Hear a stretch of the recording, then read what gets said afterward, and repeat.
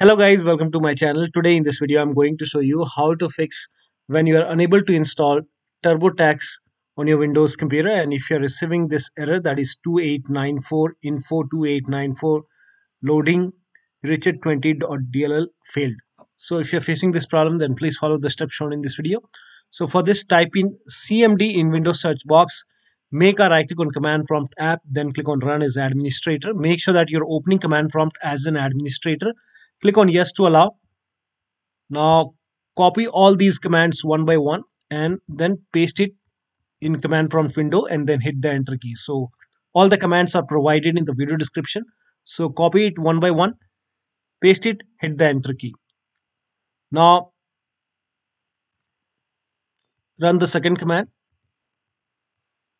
paste it hit the enter key so run all the commands one by one.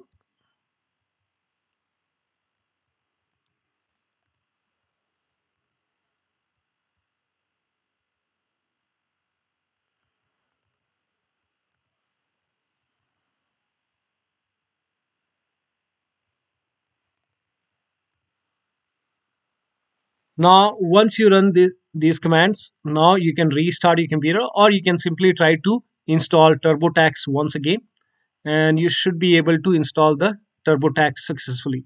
So that'll be all. Thank you so much for your time and please like this video and subscribe to my channel